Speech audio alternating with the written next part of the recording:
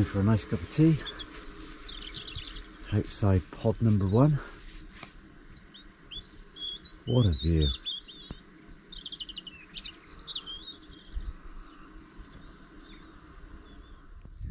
Okay, all packed up, ready to go.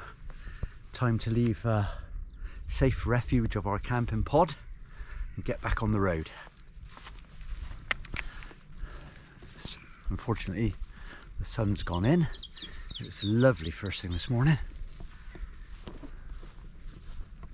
Wasn't it, darling? It was beautiful. It was beautiful. Not unlike myself. Okay, back on the coast path, back on the trail.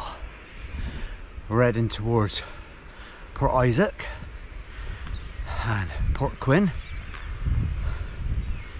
You might even drop into Portwenn, see the Dr. Martin. I've got a bit of a problem with my right toe, so maybe you can have a quick look. I don't know if you can hear that. That's a um, a massive flock of birds. I reckon there must be oh, a few hundred. You can hear them from here. They're just all like kind of just down there on the sea. So it must be seagulls of some sort. Hell of a racket.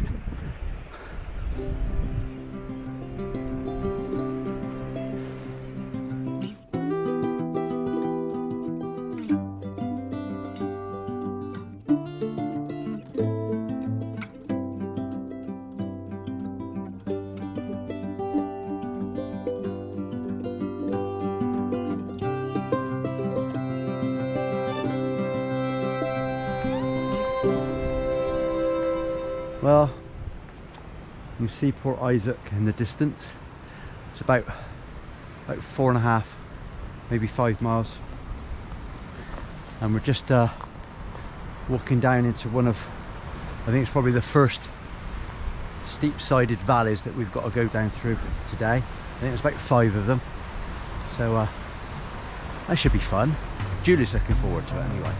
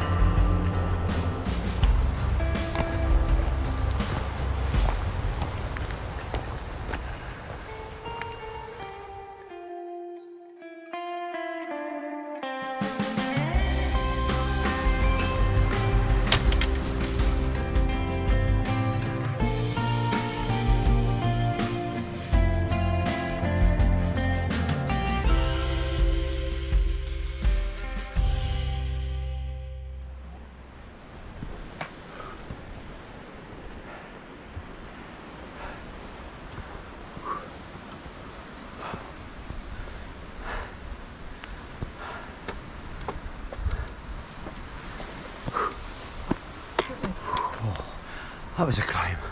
Sorry, love. Okay. Valley number two. Don't look quite as steep as the last one, but I'm sure we're going to be huffing and puffing by the time we get up to the other side over there.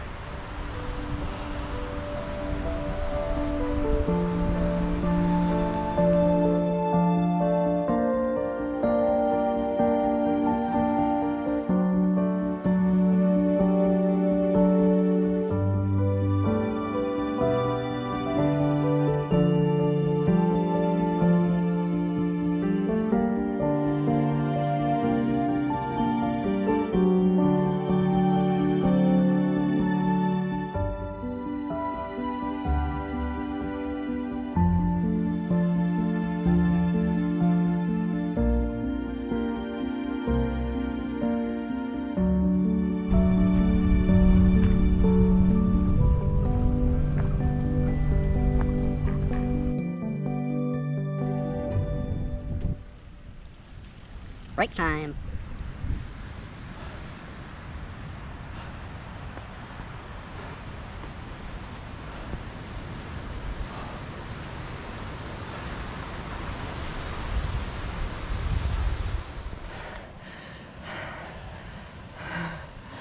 Heavens a fucking Betsy. well, look what I did spy from the top of that hill. I just ran down and have another look. Look. A little cave.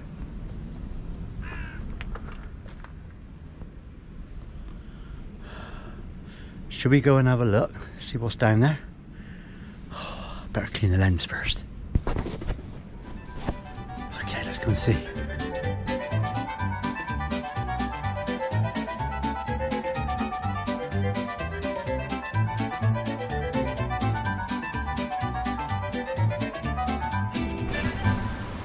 A little cove. I think uh, possibly when the tide's out, be a nice little beach. Oh, oh well. Let's go back up.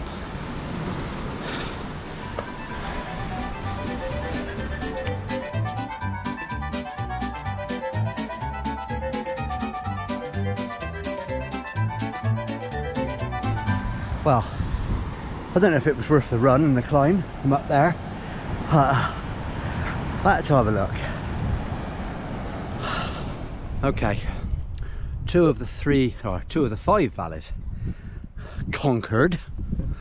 Um, now the mist has come in, so it's uh, on with the waterproofs, I think. Take off as much clothes as we can because the waterproofs aren't very good at the moment. And then um, basically just walking in underpants with waterproofs over the top. Lovely. And that's just you. And that's just me. Okay, all waterproofed up, ready to go. Shame we had to strip off to get put all this on.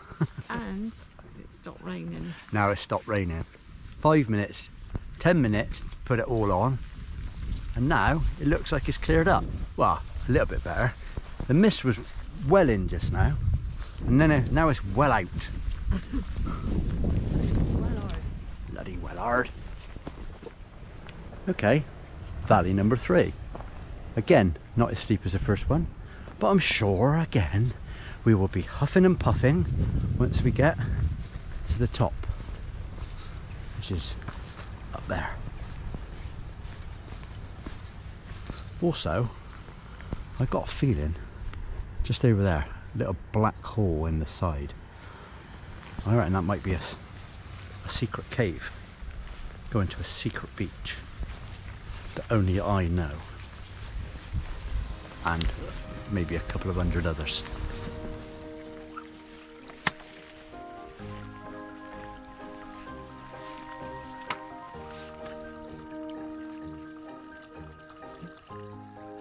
Judy now negotiating crossing of the Amazon. She could be on, um, what's it called? You've been framed.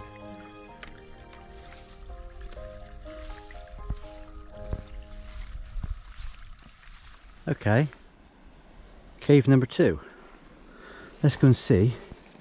Oh, shit. What's down in here? Oh, my God.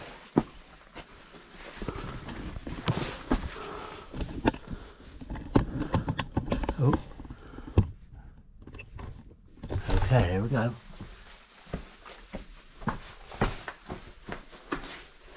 Now, apparently, worth it. Well, I'm not sure. Oh my god, it's dark. Oh my god. Bloody hell. Oh, sugar. You can't see anything, it's pitch black. It really is pitch black.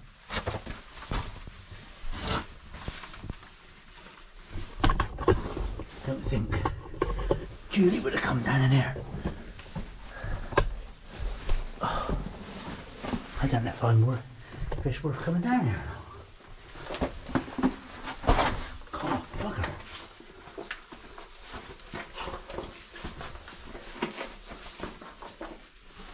Oh, bloody hell.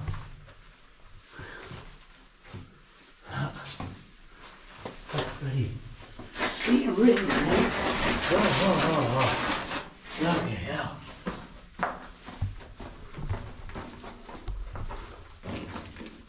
Oh. That torch gives up now. I am absolutely knackered.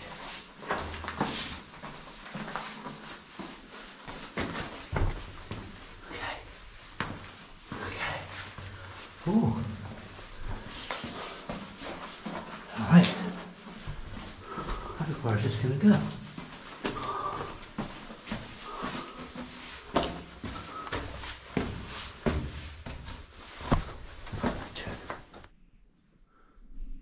I can see light.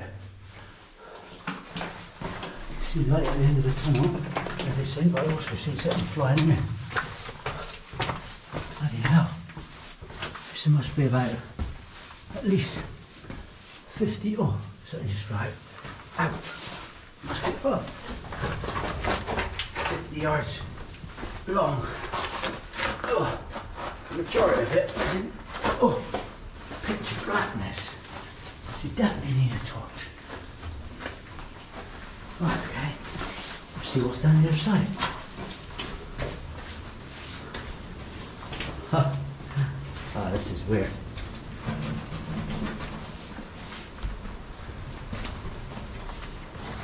Ah, oh, shit. Oh.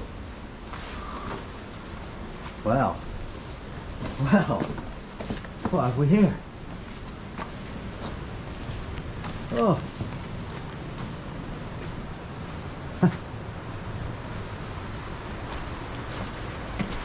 A little beach.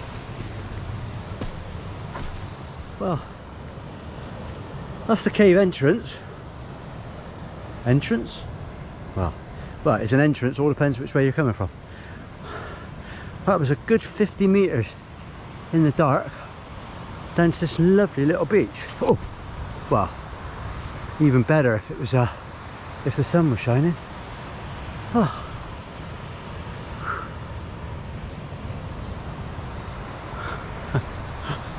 Trouble is, I've got to go all the way back up now.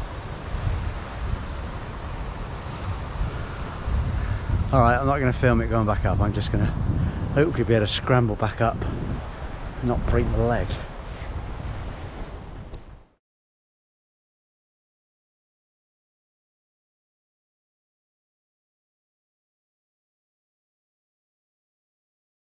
Oh, well, just coming down into valley number four of the five. A little bit out of puff now after my caving experience. Okay, kids, bit slippery down here.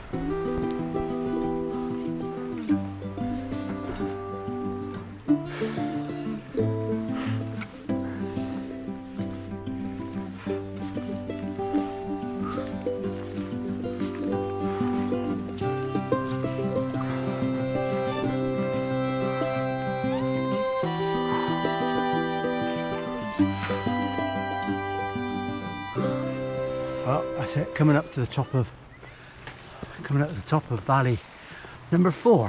Hopefully, only one more to go. And blue skies.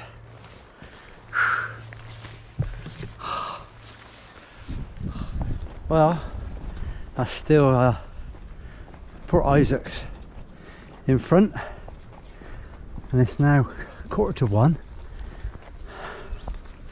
and we left at uh, half past nine I think it was. And it was about four and a half miles. We've seen the sign. Four and a half to five miles to Port Isaac. So all right we're just been just barely doing a mile and a half or a mile an hour.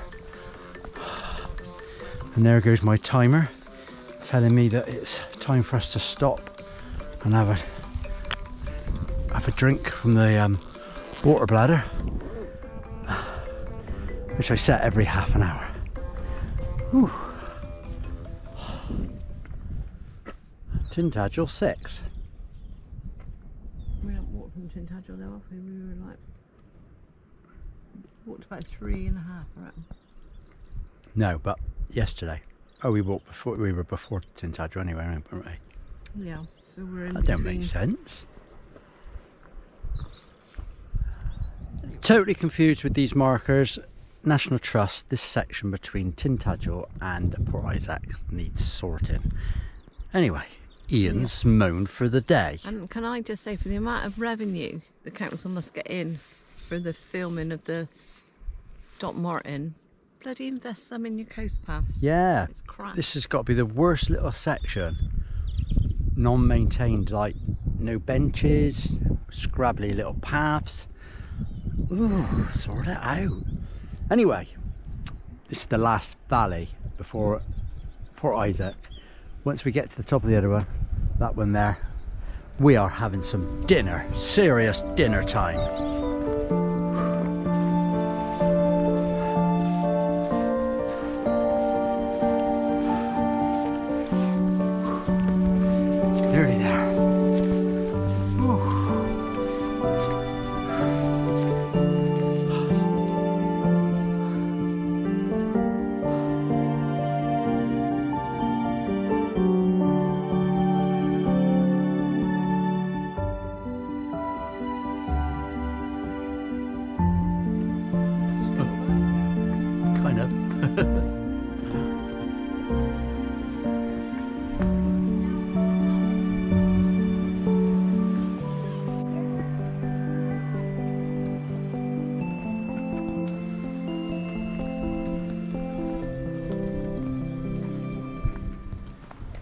Okay, well, we've just come down into Port Gaverne.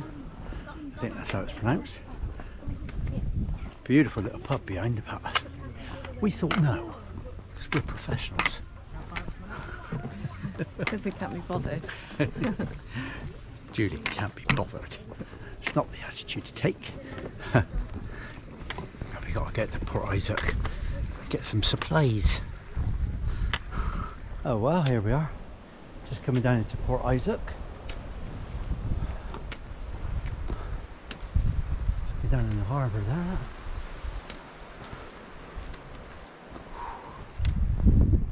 Now, all we got to do is find. We got to do is find an ice cream parlour.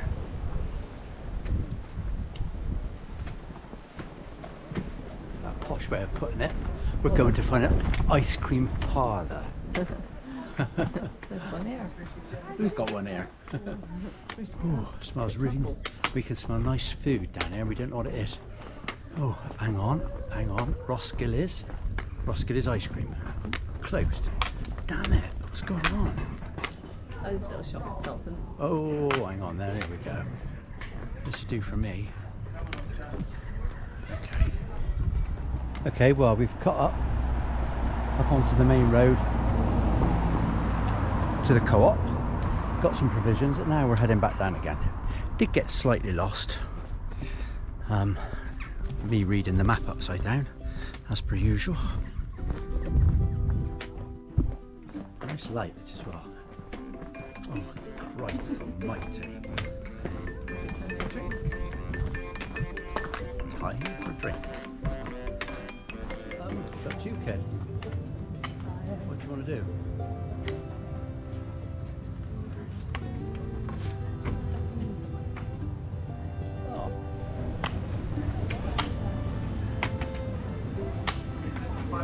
I got some fish in here once. It was really good. Really expensive, was it? Yeah.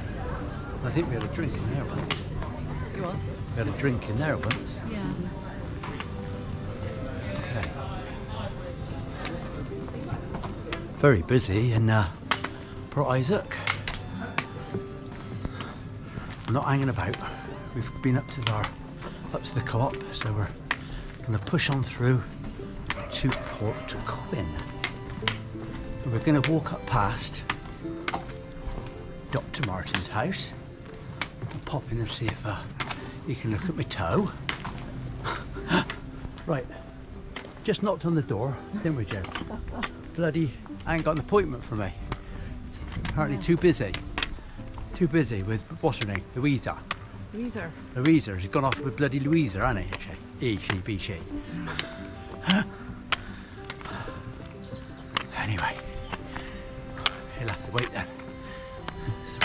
Another time.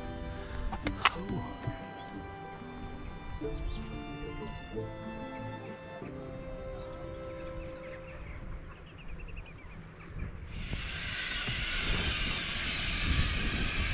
We've seen the um, a big flock of birds, seabirds like this, earlier this morning, first thing.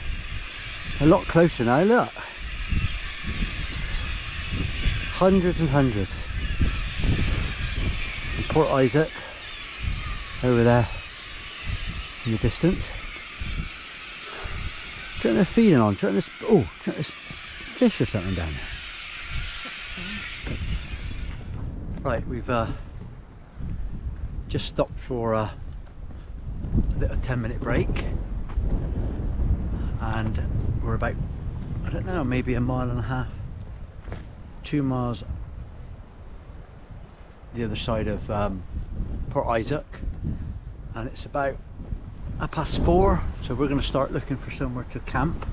So far though it's all been lots and lots of fences all the way along the path so um, we should just have to see what we can find.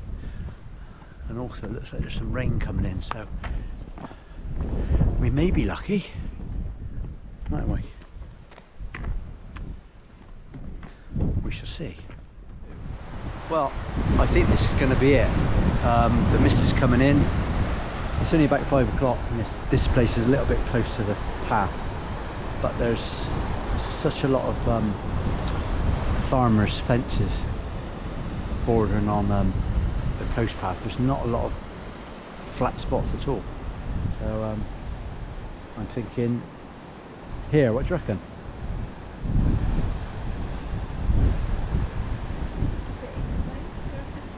well it's flat it's better than back there